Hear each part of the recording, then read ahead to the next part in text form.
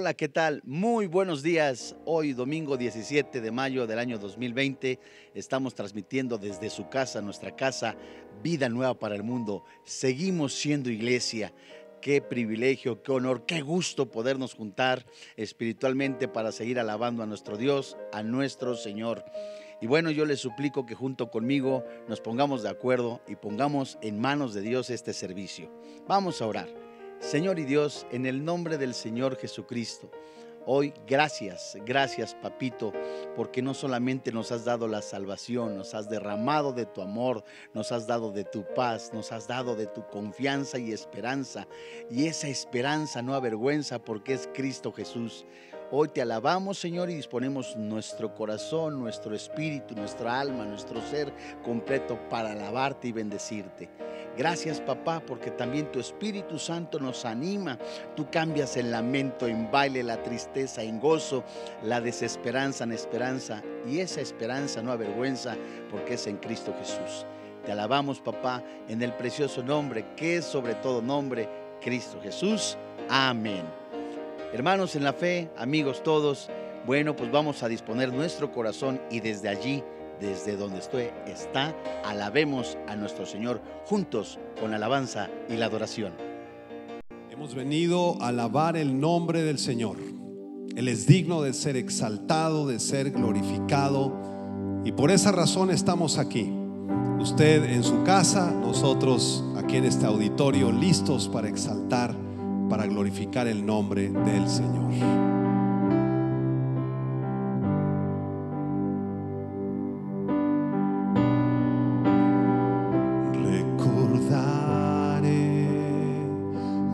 Aquella cruz donde sangró y murió Jesús, heridas que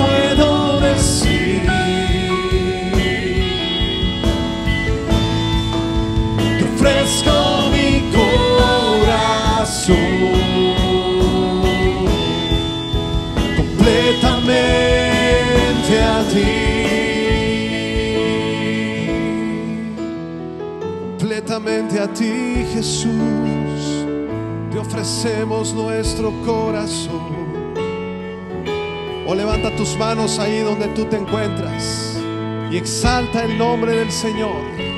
Bendice el nombre de Cristo con tus manos levantadas al cielo y canta con nosotros. Aquí estoy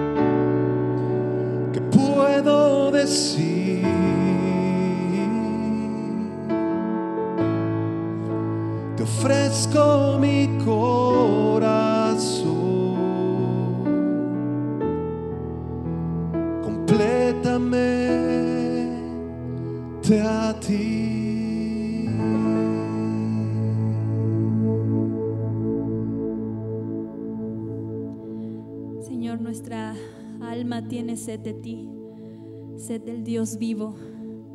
Hemos comprobado, Señor, que no hay bien fuera de ti, que nuestra vida está completa en ti, en la obra de Jesucristo. Nos has regenerado, nos has transformado y hoy todo lo que somos clama a ti, Señor, todo nuestro ser, Señor, levanta tu santo nombre. Tú eres nuestro Dios. Tú eres nuestro Señor y a ti te damos la gloria.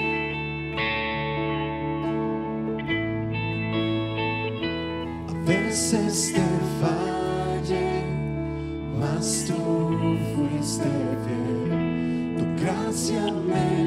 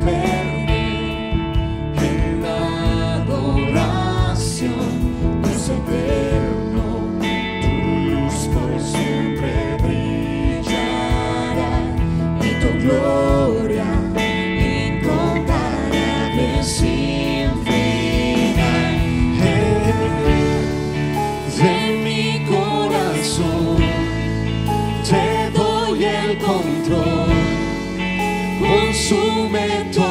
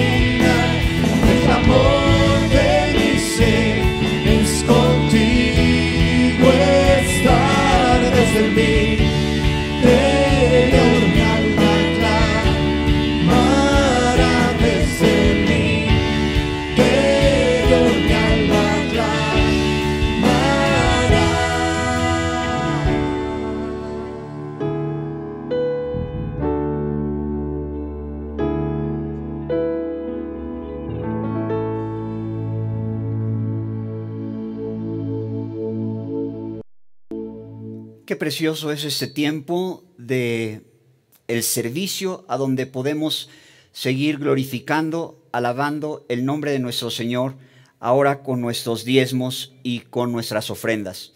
Quiero citar un pasaje del libro Primero de los Reyes en el capítulo 18, a donde el contexto de este pasaje nos sitúa en una etapa a donde el pueblo de Israel estaba pasando una crisis, una crisis fuerte, porque había una hambruna, pues no había llovido en tres años y medio, ¿se acuerdan ustedes de esto? Y bueno, cuando el profeta Elías confronta al pueblo de Israel para que se decidieran si se iban a consagrar o no se iban a consagrar, lanza un desafío en contra de los profetas de Baal. Y este desafío consistía en que los profetas de Baal y el pueblo de Israel, cada quien iba a hacer un sacrificio. Y el Dios que contestara, mandando fuego del cielo que consumiera ese sacrificio, dice Elías, ese será el verdadero, el verdadero Dios. Y quiero que vean, por favor, en el versículo 32 del el libro primero de los Reyes, en el capítulo 18, dice que Elías edificó con piedras el altar en el nombre de Jehová. Después hizo una zanja alrededor del altar en que cupieran dos medidas de grano. Preparó luego la leña y cortó el buey en pedazos y lo puso sobre la leña. Y dijo, llenad cuatro cántaros de agua y derramadla sobre el holocausto y sobre la leña. Y dijo, hacedlo otra vez, y otra vez lo hicieron. Y dijo aún, hacedlo la tercera vez, y lo hicieron la tercera vez. En este sacrificio derramaron agua que era el elemento más preciado que había en esa época. ¿Qué entendemos con esto? Que dieron a Dios lo más valioso que ellos tenían, que era el agua. No servía de nada un buey partido en pedazos, no servía de nada este, eh, la leña, no tenía valor ni siquiera el oro, porque no había comida que comprar con todo el oro del mundo. Lo más valioso era el agua. Y todo el pueblo de Israel puesto de acuerdo con Elías, decidió ofrendar al Señor el agua. Y acto seguido, después de una sequía de tres años y medio, el Señor contesta, porque todo lo que el hombre sembrare, eso también segará. Sembraron agua, que era eh, símbolo de vida en, en ese tiempo, que la gente literalmente estaba muriendo de hambre acto seguido cosechan agua, esto es, cae en abundancia agua y otra vez la tierra empieza a producir fruto. ¿De qué aprendemos en esta lección? Hermanos, que al Señor hay que darle lo mejor. Lo mejor que tengamos, en este caso, era el agua, un bien material. Hay que sembrar para poder cosechar. Yo lo invito de todo corazón que me acompañe a orar por esta semilla de nuestros diezmos y de nuestras ofrendas para en su tiempo poder cosechar la bendición que Dios nos mande. Señor, en el nombre de tu Hijo Jesucristo, queremos presentar delante de ti estas ofrendas y estos diezmos, agradeciendo profundamente que en este tiempo difícil tu mano no se ha alejado de nosotros, que hemos tenido lo suficiente y más, que hemos tenido tu provisión generosa y hemos disfrutado del cuidado que tienes de nosotros.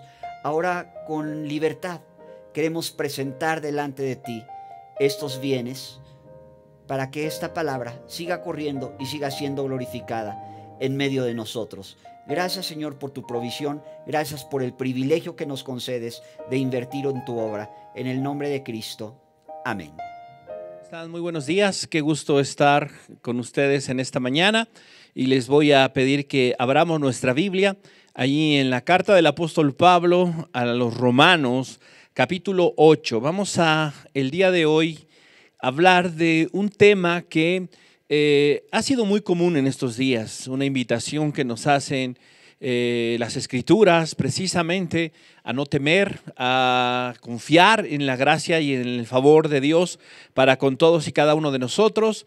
Eh, cada una de las cosas que la escritura nos enseña, nos amonesta, definitivamente podemos considerarlas que vienen de parte de Dios. ¿Por qué? Porque la escritura, la Biblia, es la palabra inspirada por nuestro Dios. Vamos a leer a partir del verso 28, aunque en realidad nuestro, nuestro enfoque va a ir ah, un poquito más adelante, es bueno que nosotros podamos ir eh, estableciendo un, un perfil o un parámetro sobre el cual podamos ir eh, sentando una base para entender y comprender las palabras del apóstol Pablo. Definitivamente necesitamos contextualizar no solamente en cuanto al texto, sino aún en el aspecto histórico y la situación que se estaba manifestando en ese tiempo. Pero vamos a ir avanzando en esto. Dice el verso 28. Y sabemos que a los que aman a Dios, todas las cosas les ayudan a bien. Esto es, a los que conforme a su propósito son llamados, porque a los que antes conoció también los predestinó, para que fuesen hechos conformes a la imagen de su Hijo, para que Él sea el primogénito entre muchos hermanos. Y a los que predestinó, a estos también llamó. Y a los que llamó, a estos también justificó. Y a los que justificó, a estos también glorificó. ¿Qué pues diremos a esto? Si Dios es por nosotros, ¿quién contra nosotros? El que no escatimonia a su propio Hijo, sino que lo entregó por todos nosotros, ¿cómo no nos dará también con él todas las cosas? ¿Quién acusará a los escogidos de Dios? Dios es el que justifica. ¿Quién es el que condenará? Cristo es el que murió, más aún el que también resucitó, el que además está a la diestra de Dios, el que también intercede por nosotros. ¿Quién nos separará del amor de Cristo? ¿Tribulación o angustia? ¿O persecución? ¿O hambre? ¿O desnudez? ¿O peligro? ¿O espada? Como está escrito, por causa de ti somos muertos todo el tiempo, somos contados como ovejas de matadero.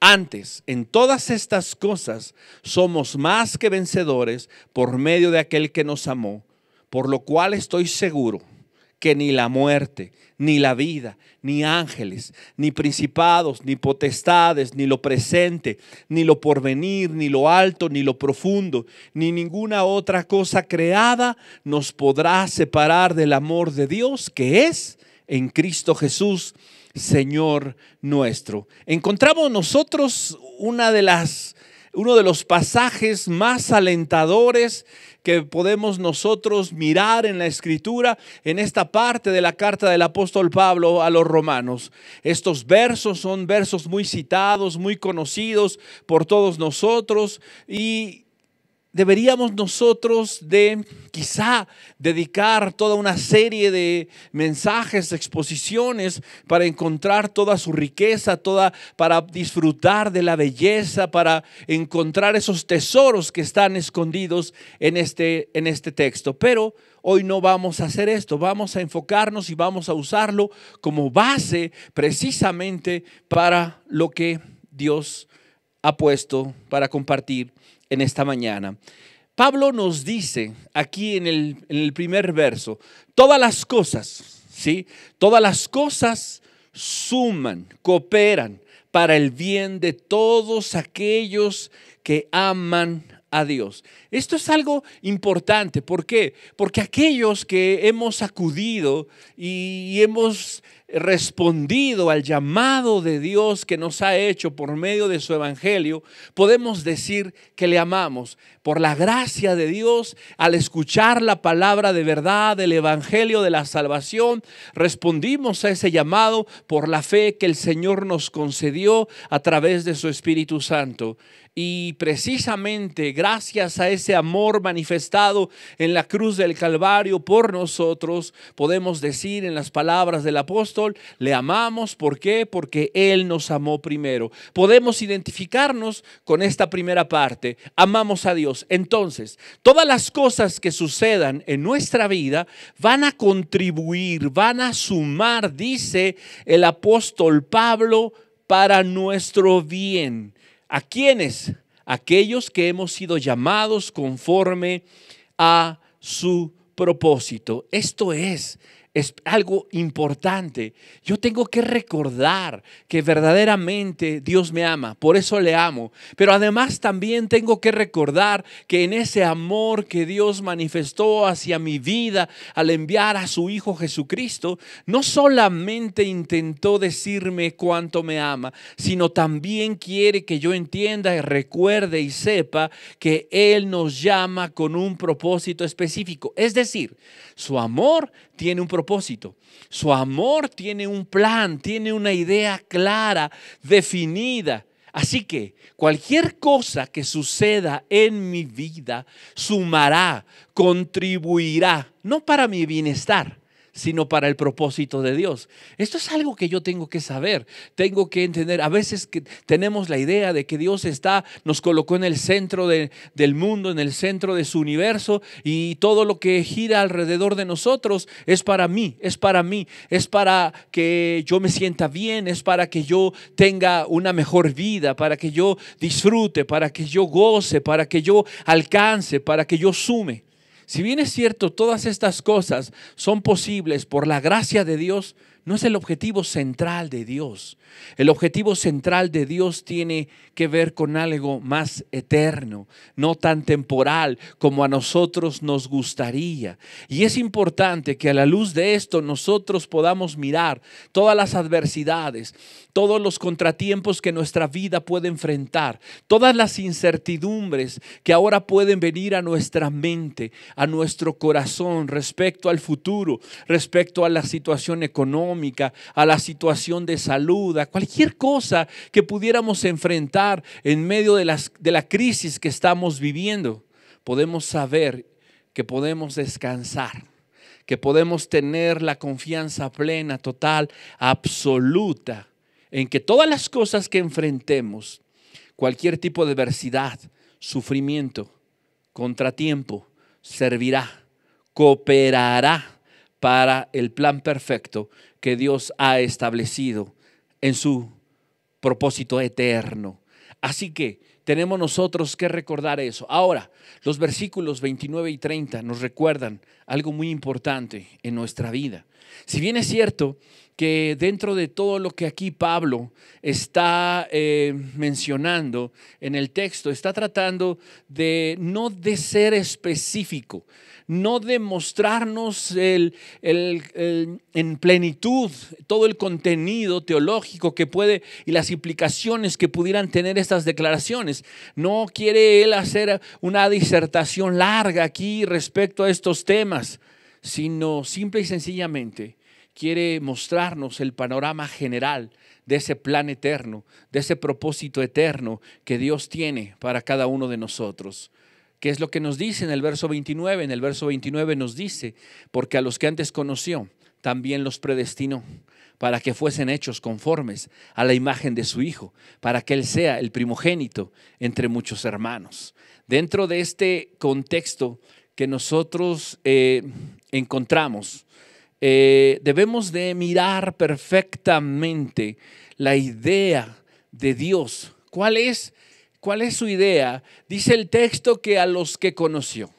¿Sí? Sabemos nosotros por el contexto bíblico, si ponemos nuestro corazón, nuestra mente, eh, en el Salmo 139 vamos a recordar esas palabras que nos hablan de la belleza, de cómo Dios nos creó y antes de que todas las cosas fuesen, Él ya nos conocía.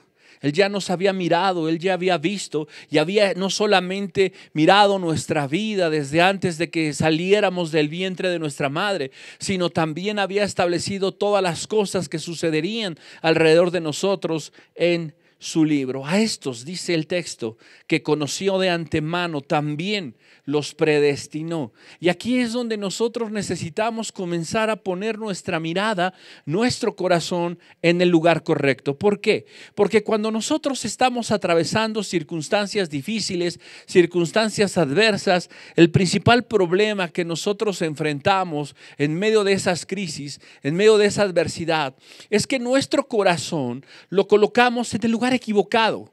Nuestros ojos los colocamos en el sitio equivocado. Y todo esto conlleva que caigamos en un estado de ansiedad, de preocupación. Miramos las circunstancias, miramos las amenazas de la sociedad, miramos las circunstancias que vienen en, en todos los sentidos económicos, políticos, sociales, de salud y todas estas cosas. Y el temor viene a nuestros corazones. La realidad es que yo tengo que saber y mirar que todas las cosas que Dios estableció, las estableció en un plan eterno. Pero todas las cosas también, dice la escritura, tienen un objetivo y tienen un propósito. Es más, yo fui elegido, fui predestinado, dice el texto. ¿Para qué? Para ser hecho, dice el texto, conforme a la imagen de su Hijo Jesús. Es decir, nuevamente tengo yo que pensar en esto. Tengo que voltear mi corazón hacia esto y entender que es posible que todo aquello que sucede en mi vida o que va a suceder no necesariamente es para mi beneficio. Repito, nosotros estamos generalmente pensando en yo estar bien, en yo estar tranquilo, en yo no tener problemas, en yo tener todo lo necesario, en yo no sufrir enfermedades, en yo no sufrir accidentes. Ese tal vez sería mi concepto de que Dios está conmigo, que no me pase nada, que no sufra, que los míos estén bien, estén, estén salvos, estén sanos, estén confortables, tengan una buena vida, que mis hijos crezcan y tengan una buena educación y sean exitosos en sus carreras y en algún momento puedan conocer al Señor y su vida sea plena y sea completa y no tengan contratiempos y cosas por el estilo. ¿Sabes? Dios no tiene eso en mente en primera instancia. Lo que Dios tiene en mente con mi vida, con el hecho de haberme escogido, de haberme elegido, de haberme predestinado, es, dice el texto, para ser hecho conforme a la imagen de su Hijo. ¿Cuál es la idea? Eh, él quiere que yo reciba todo lo necesario y todo aquello que me hace falta y que me haga sentir bien para que yo pueda ser el objeto, el beneficiado. No, el deseo de Dios va más allá de esto. El deseo de Dios, el deseo que Dios tiene es precisamente que su Hijo sea el glorificado, sea el reconocido, sea el que se coloque en el lugar preeminente precisamente por encima de toda la creación. De tal manera que aún a pesar de que a nosotros los seres humanos nos coronó de cierta gloria y nos, nos creó en el sexto día para coronar su obra maravillosa, creadora en esta tierra, no somos el objeto principal de la creación. La escritura nos muestra que el objeto principal, aquello que eh, debe tener la preeminencia, el lugar predominante en la creación es su Hijo Jesucristo. Dios nos ama. Eso, que de eso no nos quepa duda. Y que Dios tiene un plan perfecto para nuestra vida también. Pero ese plan y ese amor que tiene hacia nosotros tienen que ver con más, tienen que ver más con Él, tienen que ver más con su propósito que con nuestra felicidad, que con nuestro bienestar. Esa es la realidad. Cualquier beneficio, cualquier cosa que nosotros podamos recibir de Dios es gracia. Es gracia, es favor, es, es, es cuidado sobre nosotros definitivamente, pero su objetivo principal es el hecho de que su Hijo sea levantado, que su Hijo sea glorificado. Así que yo tengo que pensar eso en mi vida. Y eso se tiene que convertir también en el objetivo y en el propósito de, de, todo lo que yo soy y de todo lo que enfrento. De tal manera que cuando yo enfrento las circunstancias, las adversidades, los problemas y las dificultades, tengo que pensar, Dios va a glorificar a su Hijo en medio de esto. Y en medio de que Él glorifique a su Hijo, yo voy a ser bendecido, yo me voy a sentir satisfecho, yo voy a encontrar tranquilidad, paz, plenitud, gozo en medio de eso. Eso es lo que debería de estar en mi mente. Ahora, dice el texto, más adelante, aquellos a quien Dios también conoció, también los llamó. Y a los que llamó, también los justificó. Y a los que justificó, también dice el texto, los glorificó. Es decir, Dios completa su plan desde el principio hasta el fin. Desde la eternidad, dice Efesios, antes de la fundación del mundo. Dios en ese sentido nos lleva desde antes de la fundación del mundo hasta su regreso, hasta que nosotros seamos glorificados, hasta que la presencia de pecado sea quitada de nuestra vida. Eso es lo que Pablo aquí nos está recordando, un plan eterno de parte de Dios para nosotros, un plan que definitivamente va más allá de lo que atravesamos en este mundo que trasciende desde antes de que todas las cosas fueron creadas hasta después de que estas cosas sean consumidas. Es decir, un plan eterno. Lo que nosotros atravesemos en esta temporalidad, en nuestra vida sobre esta tierra, va a ser eso, temporal, va a ser eso, pasajero, va a ser algo efímero. Así que Pablo nos presenta todo este proceso que Dios lleva a cabo en nuestra vida hasta llegar al punto final de nuestra redención. Pablo en ese sentido está tratando de, decirnos algo. Si nosotros leemos un poquito más arriba en el texto, ahí mismo en el capítulo 8, se nos dice que nosotros somos herederos y coherederos con Cristo. Herederos de Dios, coherederos con Cristo. Y este es un honor maravilloso. Este es un honor glorioso que nosotros podemos disfrutar. Pero esa gloria que viene precisamente con el poder ser coherederos con Cristo, también nos implica sufrimiento. Nos implica sufrir junto con Cristo como parte de nuestra glorificación con Él. Así que necesitamos nosotros tener eso en mente. Ahora,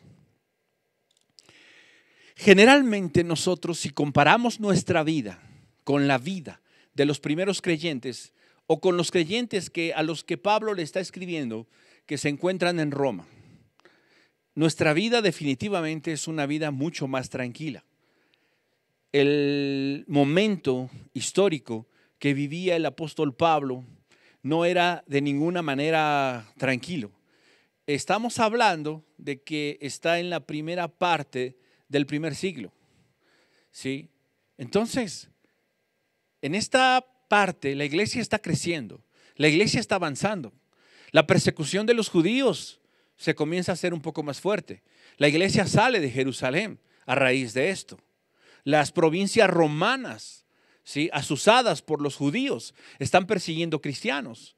Están tratando de apresarlos, están tratando de llevarlos a juicio por sedición, por seguir a uno diferente que César. Están tratando de eliminar, de hacer a un lado este grupo llamado de los del camino, que después en Antioquía fueron conocidos como cristianos. Ese es el objetivo, no solo de los judíos, de los romanos, sino del mismo Satanás. Pero definitivamente hay algo en medio de todo esto que benefició a la obra de Dios. Cuando nosotros miramos la iglesia en Jerusalén, nos damos cuenta que la iglesia en cierta manera gozaba de, plenitud. Dice la Biblia, todos tenían en común las cosas, partían el pan, convivían, si alguno tenía necesidad, bueno, se cooperaban y trataban de suplir esa necesidad, de modo que no le faltaba algo a, a alguien. Es decir, todos tenían lo necesario. Y esta era una vida en comunidad y era hermoso tal vez vivir en esa comunidad de santos que buscaban a Dios, que perseveraban en la oración, en el partimiento del pan, en la exposición de la palabra y de repente por ahí salían a las plazas y hablaban del Evangelio y mucha gente se convertía, venían por miles a los pies de Jesucristo. Parecía el estado ideal precisamente para vivir, para desarrollar su fe. Pero resulta que Dios tenía un plan diferente, un plan distinto. No había planes, por lo menos no inmediatos, de los santos, de los apóstoles para salir. Dios tuvo que impulsar su salida de Jerusalén a través del martirio de Esteban, a través de la muerte de, Santiago, a través del encarcelamiento de Pedro, a través de cada una de estas cosas, Dios tuvo que precisamente cumplir con su plan. Je- Jesús le dijo a sus discípulos, ustedes me serán testigos en Jerusalén, en Judea, en Samaria y hasta lo último de la tierra. Y eso no había pasado todavía. Y el plan de Dios estaba por encima del plan del bienestar, de la comodidad de los discípulos. Y Dios tenía que cumplir y llevar a cabo ese plan.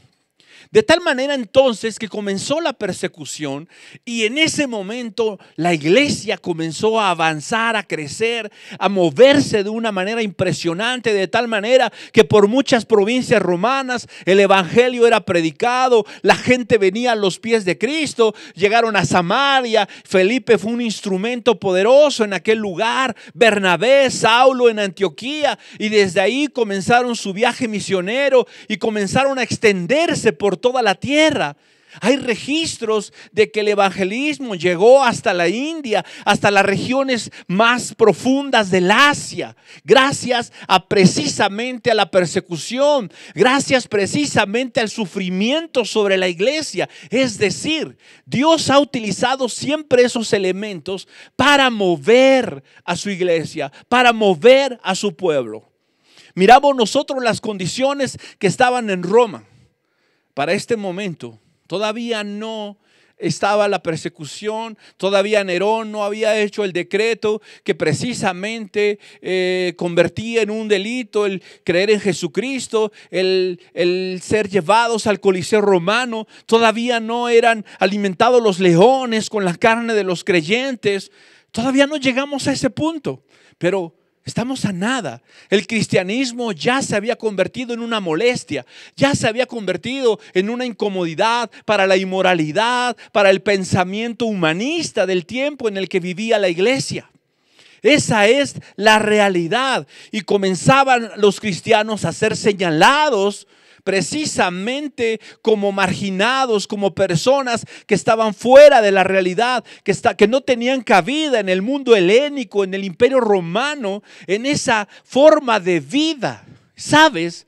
Eso en ese sentido se parece mucho a lo que nosotros estamos viviendo y a lo que va a venir sobre este mundo. Hoy, ¿qué sucede? Hoy nosotros tenemos cierta libertad, por lo menos en nuestro país. Tenemos la libertad de predicar, de salir a las plazas, de hacer eventos masivos, de predicar el Evangelio. Pero ¿qué pasa en nuestras sociedades? Estamos llegando al punto donde el hablar la verdad, el hablar en contra de aquellas prácticas que ofenden a Dios, prácticas inmorales, prácticas que son contra naturaleza, prácticas que atentan contra la vida, en ese sentido, cosas que enseña la Biblia. Estamos entrando en una etapa donde pensar de esa manera es algo inadecuado, es intolerancia, es odio, es, es, es, algo que no es bien visto por nuestra sociedad. Hoy hay lugares, sitios en nuestro propio país donde hermanos en la fe, hermanos en Jesucristo, son arrancados de sus lugares donde viven por causa de su fe, por causa de sus creencias. ¿Sí? Pablo, por ejemplo, nos relata ahí en su segunda carta a los Corintios, en el capítulo 11, nos hace todo un recuento de los peligros que enfrentó, que vivió precisamente por el hecho de predicar el Evangelio. Ahora, Pablo en ese sentido no consideraba esas pruebas, esas adversidades, esas persecuciones como una evidencia de que Dios se había olvidado de él. No, todo lo contrario. En ese sentido, Pablo pensaba y decía, eso que yo sufrí, esas prisiones, esa persecución, sirve para la propagación del Evangelio, sirve para el cumplimiento del plan eterno de Dios, sirve precisamente para que Jesucristo pueda ser dado a conocer, para que el Evangelio pueda venir al corazón y a la vida de las personas y éstas puedan ser cambiadas. Esa es lo que Pablo tenía en su mente. Y eso es lo que ahora intenta transmitirle y sembrar en el corazón de la iglesia en Roma. ¿Por qué? Porque los días que vendrían sobre Roma y sobre todo el mundo conocido en aquel momento serían días de oscuridad, días de tinieblas, días donde precisamente los hombres se voltearían en contra de Dios, se voltearían en contra de todos aquellos que predicaran la verdad, que hablaran la verdad. Y entonces la iglesia debería de ser preparada, debería de ser alentada a vivir de una manera correcta. Eso es lo que aquí Pablo está tratando de decir. Vamos a leer ahora a partir del verso 31, Romanos 8. Y dice, ¿qué pues diremos a esto? O sea, ¿qué, consecuencia tiene esto? ¿O qué efecto debería de tener esto en mi cabeza, en mi mente? Fíjate cómo lo dice la nueva traducción viviente en este verso 31 del capítulo 8. Nueva traducción viviente, Romanos 8, 31. Y lo dice así. ¿Qué podemos decir acerca de cosas tan maravillosas como estas? ¿Qué cosas? Pues las que dijo Dios pensó en nosotros desde antes de la fundación del mundo. Nos eligió, nos llamó, nos justificó, nos santificó y nos glorificará. Es decir, Dios terminará, completará la obra que comenzó. Pablo dice, ¿qué podemos decir ante esto tan maravilloso? ¿Qué podemos decir de estas cosas tan hermosas, tan gloriosas frente a lo que vivimos? y o frente a lo que vendrá. Dice Pablo, si Dios está a favor de nosotros, ¿quién podrá ponerse en nuestra contra? Esta es una de las cosas que comienza a darle no solamente un giro al corazón de la iglesia en Roma, sino debería darle un giro a nuestro pensamiento. ¿Por qué razón? Porque tal vez nosotros estamos pensando, estamos creyendo, ¿sí? Que, que Dios respondería a nuestra fe, a nuestra confianza, a su palabra, a sus promesas. Si en medio de la crisis no nos pasa nada. Si en medio de la crisis no nos falta nada. Si en medio de la crisis no nos enfermamos. Si en medio de la crisis no sufrimos absolutamente ningún daño. No. Pablo no está pensando en eso. Pablo está pensando en las verdades eternas, en las situaciones eternas. Él quiere que la iglesia comience a desviar su atención de lo terrenal, del sufrimiento, del dolor, de la persecución, de la enfermedad y de cualquier cosa contraria, adversa, difícil que pudiera enfrentar, que pudiera vivir en este mundo, en esta tierra, para comenzar a enfocar su mente, su corazón, su expectativa sobre lo eterno. Pablo dice, van a enfrentar adversidad, va a haber cosas contrarias. Jesús cuando habló y dijo aquellas palabras hermosas, tú eres Pedro, sobre esta roca, tú eres Petros, sobre esta Petra edificaré mi iglesia. La promesa de Dios de edificar su iglesia sobre un fundamento firme que era Él. Y dice después, las puertas del Hades no prevalecerán contra ellas. Esto nos habla de la guerra que el Hades, que la muerte, que el infierno, que las fuerzas diabólicas ejercerían sobre la iglesia para impedir su crecimiento, para impedir su avance, para impedir su desarrollo una disputa, una contrariedad, una oposición. Pablo dice, eso va a suceder, Jesús lo dijo. Todos y cada uno de nosotros tenemos que recordar esas palabras. Antes de Jesús ir al cielo, dijo, yo los envío como ovejas en medio de lobos. Esa cosa debe estar en nuestra mente en cada día, en cada momento. Ahora, ¿qué con eso? ¿Qué importa? Que eso suceda. Tengo una promesa eterna. Dios no tiene un plan temporal, Dios tiene un plan eterno. Dios tiene un plan que va a cumplir, que determinó desde antes de la fundación del mundo y ha establecido para el final de los tiempos. Cada uno de nosotros necesitamos poner nuestra mente y nuestro corazón en eso.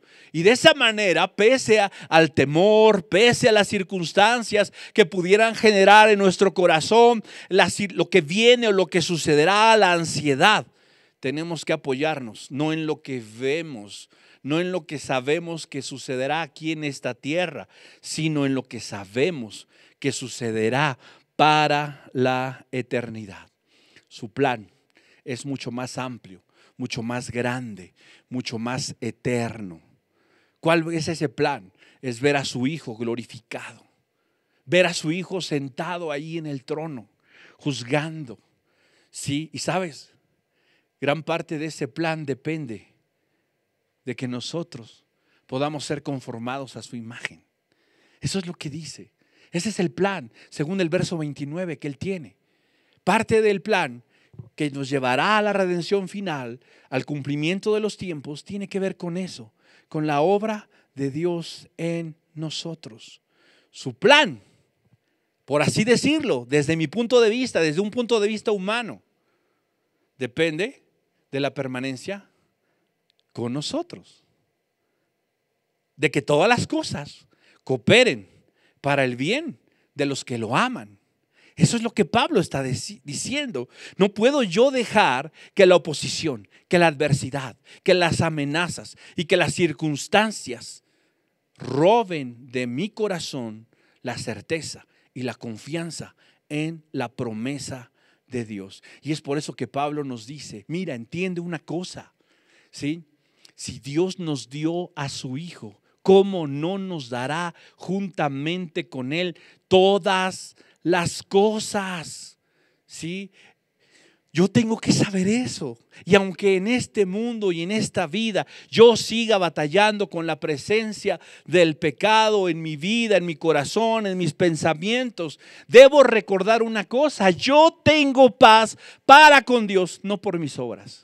No por lo que yo soy, no por una justicia personal, no por una justicia propia, sino por la justicia de Cristo. Justificados pues por la fe, tenemos paz para con Dios por medio de nuestro Señor Jesucristo. Así que, dice Pablo, ¿quién?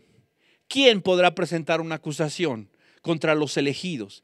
¿Quién podrá presentar una acusación que siquiera pueda ser considerada, ya no digamos aceptada, no, que pueda ser considerada? Dice, nadie. ¿Por qué? Porque debemos de recordar que el acusador no tiene la capacidad, no tiene la autoridad para juzgar y mucho menos para justificar. El único que tiene esa capacidad es Dios y la entregó a Jesús. Y Jesús dice, el texto es el que murió y no solamente murió, sino resucitó al tercer día. ¿Para qué? Para que yo pueda estar seguro que la pena por mi pecado, que la pena por mi desobediencia, por todo lo que hice en el pasado, por mis pecados presentes y aún por los futuros, fue saldada fue completa y totalmente pagada. Y la evidencia contundente de que ese sacrificio, de que esa deuda fue aceptada, fue saldada satisfactoriamente, es el hecho de que Cristo se levantó de entre los muertos. Así que, por eso Pablo nos dice, ¿qué sucede? ¿Qué podrá entonces? ¿Sí? ¿Qué podrá? Verso 35 separarnos del amor de Cristo. ¿Será? Dice la nueva traducción viviente, verso 35. ¿Acaso hay algo que pueda separarnos del amor de Cristo? ¿Será que Él ya no nos ama si tenemos aflicciones o problemas? ¿Será que eh, yo tengo que pensar que porque estoy sufriendo, que porque estoy siendo afligido o porque voy a enfrentar esas circunstancias, Dios ya no me ama? No. Si somos perseguidos o pasamos hambre o estamos en la miseria o en peligro o bajo amenaza de muerte, como dicen las escrituras, por tu causa nos matan cada día, nos tratan como ovejas en el matadero. Claro que no, definitivamente no, dice Pablo, no puedes pensar eso, no puedes creer eso, no puedes escuchar las voces que te dicen, Dios no te ama, Dios se ha olvidado de ti, definitivamente no, tienes que recordar y tienes que saber que a pesar de todas estas cosas, nuestra victoria es absoluta, dice la nueva traducción viviente. En estas cosas somos más que vencedores por medio de Cristo Jesús, dice nuestra versión 60. NTV dice, nuestra victoria es absoluta por medio de Cristo. ¿Por qué? Porque nos amó. Así que Pablo dice, verso 38, estoy convencido de que nada, nada podrá jamás separarnos del amor de Dios. Ni la muerte, ni la vida, ni ángeles, ni demonios, ni nuestros temores de hoy, ni nuestras preocupaciones de mañana, ni siquiera los poderes del infierno pueden separarnos del amor de Dios. Ningún poder en las alturas, ni en las profundidades, de hecho, nada en toda la creación podrá jamás separarnos del amor de Dios, que está revelado, que está revelado, que está manifestado en Cristo Jesús nuestro Señor. La obra de Cristo, perfecta en la cruz del Calvario, se ha manifestado para que hoy tú y yo no tengamos temor, para que tú hoy y yo podamos confiar. ¿Qué importa lo que venga? ¿Qué importa? ¿Vamos a sufrir? Probablemente, seguramente, pero en cualquier cosa que nosotros enfrentemos, en cualquier cosa que nosotros podamos tener delante de nuestra vida. Dice el texto, somos más que vencedores. Así que tengamos confianza. Vamos a irnos al capítulo 11.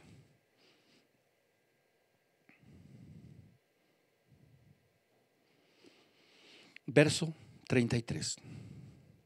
Capítulo 11, verso 33. Ahora, estas verdades más allá de, que yo pueda esto, meterlo en mi mente y repetirlo, y repetirlo, y repetirlo, y repetirlo, hasta que se haga una realidad, se haga carne en mi vida. Yo necesito saber que la obra perfecta de Cristo está ahí para garantizarme esto, para darme seguridad, para darme certeza. Pero vamos a ver qué es lo que también nos dice el apóstol Pablo ahí en el capítulo 33. Y dice, perdón, capítulo 11, verso 33. Vamos a leer la versión 60, la Reina Valera, versión 60. Dice, oh profundidad de las riquezas, de la sabiduría y de la ciencia de Dios. Cuán insondables son sus juicios e inescrutables sus caminos. ¿Por qué? ¿Quién entendió la mente del Señor? ¿O quién fue su consejero? ¿O quién le dio a él primero para que le fuese recompensado?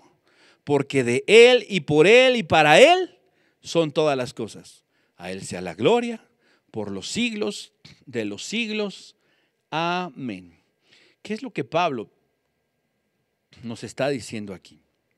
Pablo nos está tratando de recordar no solamente lo que ya dijo antes, sino que ahora en este texto él intenta precisamente que nuestro corazón, que nuestra mente pueda ir en, en, la dirección, como dijimos hace un rato, correcta. Ya nos dijo que quiere que seamos valientes y que no tengamos temor a pesar de las circunstancias. Hay algo que tenemos que puntualizar aquí. A veces nosotros pensamos que ser valiente es no tener miedo. Y la realidad es que no necesariamente a eso se está refiriendo la escritura cuando nos dice no temas. Cuando le dice Dios a Josué, no temas porque yo estoy contigo. ¿Sí? ¿Por qué le decía eso? Primero le dice esfuérzate y sé valiente. Y luego le dice, no temas ni desmayes. ¿Por qué? El esfuerzo y la valentía, ¿sí? no eximen de que tengamos miedo, es más. El miedo es algo que precisamente es útil. Y la valentía se manifiesta en medio del temor, en medio de la incertidumbre.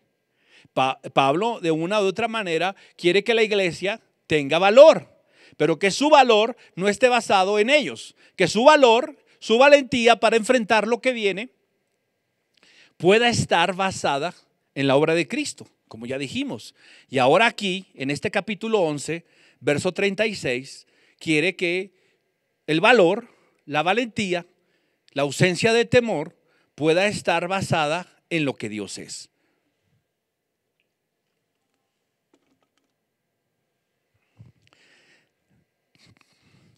Hay una cosa a la que somos propensos nosotros como personas que vivimos en un mundo caído y todavía con parte de nuestra natura- naturaleza caída.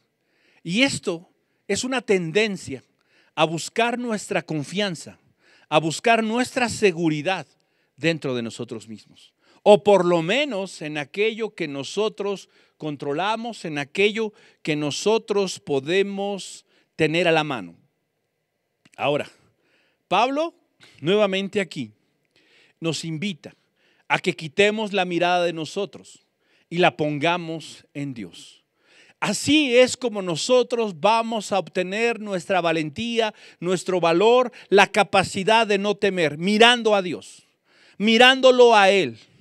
¿Sí? El hombre está hecho a imagen de Dios, solamente que nosotros estamos limitados comparados con Dios. Comparados con su grandeza, somos limitados. Nosotros simple y sencillamente podemos hacer las cosas de acuerdo a los recursos, de acuerdo a nuestra capacidad, aquello que poseemos. Hace algunas eh, semanas platicábamos un grupo de personas con alguien que va a casarse y, y decía, bueno, yo quisiera esto, yo quiero aquello, pero para lo que me alcanza es para esto. Exacto. Yo no puedo desear tener algo para lo que no me alcanza. Puedo tal vez tenerlo a expensas de que voy a adquirir una deuda, voy a tomar un crédito que después quizás no pueda yo pagar, en el cual me va a atar a algo, me va a esclavizar a algo. Eso no es lo que Dios quiere definitivamente. Yo puedo hacer simple y sencillamente aquello que mi presupuesto me da, aquello que mi capacidad me da. Estamos limitados en lo que podemos hacer. Estamos limitados por los recursos que tenemos. Pero ¿sabes algo? Dios no está limitado. Dios no está limitado. Dios en ese sentido posee todos los recursos. Vemos nosotros, volteamos nuestra mirada hacia el libro del Génesis y encontramos ahí en el capítulo 1 y en el capítulo 2 la historia. La historia de cómo este mundo fue creado. Dicen algunos recreado. No vamos a entrar en ese sentido ahorita. La idea es que eh, dice la Biblia que la tierra estaba desordenada y vacía. Había desorden, había vaciedad y había tinieblas en esta tierra. Sin embargo, ¿qué pasó? De repente todo comenzó a tener orden, sentido. Comenzaron a aparecer cosas. ¿Qué sucedió? Dios en su desván del celestial comenzó a arrojar cosas que ya no le servían, que tal vez le estorbaban para que pudieran poblar aquí la tierra, llenar la tierra. No, definitivamente no. ¿Qué hizo Dios? Dios comenzó a hablar. Dios comenzó a decir. Dice la palabra que Dios dijo, sea y fue. Dios dijo, haya y hubo. Dios dijo, hagamos y se hizo. La palabra de Dios dio vida a todo aquello que fue. El desorden se convirtió en orden. El caos tuvo orden. Las tinieblas fueron iluminadas. Todo comenzó a cambiar. ¿Por medio de qué? Por medio de la voz de Dios, por medio de lo que Dios dijo. Y sabes, ese universo creado que fue creado por la voz, por la palabra de Dios al día de hoy, sigue siendo sustentado por Dios. La Biblia nos enseña que el que sustenta todas las cosas es Jesucristo, por su poder. Así que, no importa la capacidad que yo tenga, No importa los recursos, tal vez sí pueda yo tener una, una buena cantidad de dinero en el banco, o debajo del colchón, o detrás del cuadro, o escondido por ahí. Tal vez yo pueda pensar, no me va a hacer nada la crisis, no va a pasar nada. ¿Sabes? No. En este mundo, en el reino de Dios, las cosas no se consiguen con recursos humanos. Recordemos, el propósito de Dios no es temporal, es eterno, es permanente, es trascendente. Yo tengo que saber que al final del día, por más dinero que yo tenga en el banco, yo no soy todopoderoso. Tal vez podría yo tener mucho dinero y enfrentarme a una enfermedad terminal, fulminante, delante de la cual todo mi dinero no me sirve de nada. Puedo yo estar en una posición elevada y las amistades y los conocidos y las influencias al final del día no me sirvan para salvarme. Yo soy limitado, pero Dios no lo está. Y Él no está limitado por nada. Él dice y es. Así que nosotros necesitamos recordar eso. No importa lo que nos quiten.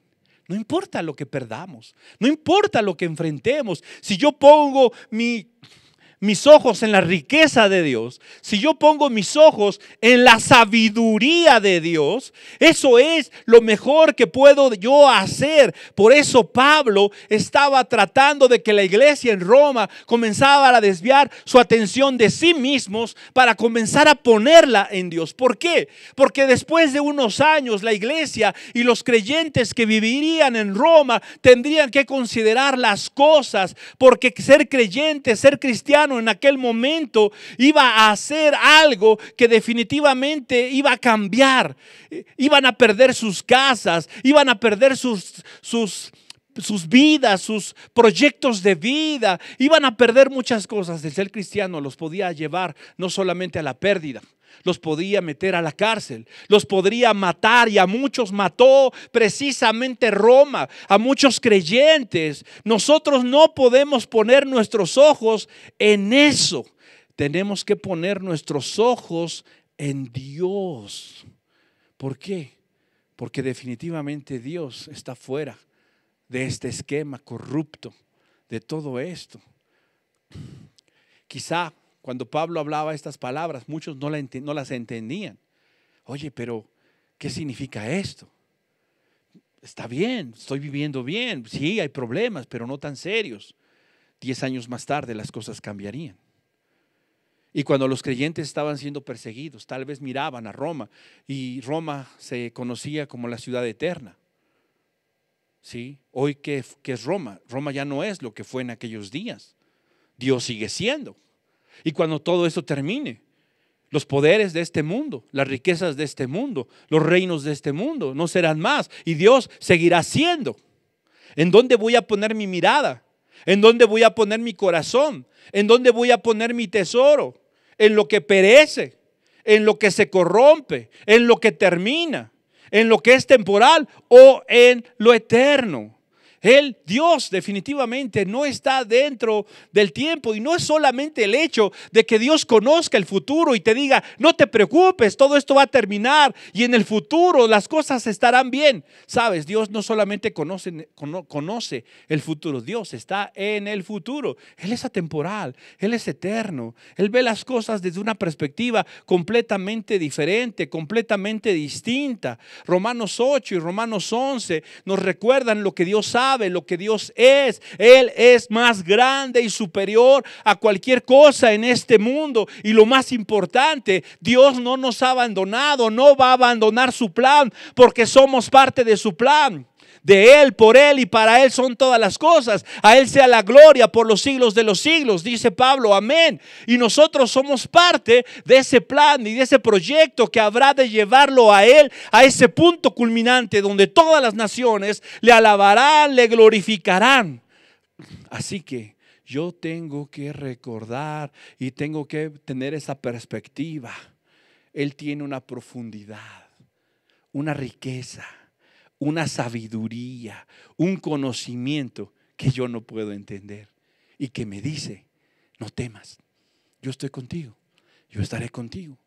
Y no importa lo que pase, no importa lo que pierdas, no importa lo que enfrentes, mi plan para ti es un plan eterno, superior, que supera tu expectativa humana. El Dios sabio, soberano e infinitamente poderoso nos recuerda que nosotros debemos confiar en Él y que este pequeño fragmento de historia, que es la que nosotros estamos mirando, es algo pequeño e insignificante delante de Él. En tiempos difíciles, yo tengo que considerarme a mí de esa manera. Soy pequeño y necesito a un Dios grande. No soy nada y necesito al Dios que lo es todo. Así que ese debe ser nuestro estandarte, debe ser la perspectiva que debe gobernar nuestro corazón. Y de esa manera, entonces, tiene sentido que yo escuche las palabras de Dios que me dicen, no temas, yo estoy contigo. Vamos a orar. Padre, en esta mañana agradecemos que tu palabra en nuestros corazones pueda brindar claridad, pueda brindarnos lo necesario para ordenar nuestro corazón, para ordenar nuestros pensamientos, para alinearlos, Dios, contigo, con tu propósito, con tu voluntad. ¿Cuántas veces la ansiedad, el temor y la incertidumbre gobiernan nuestros corazones, gobiernan nuestros pensamientos?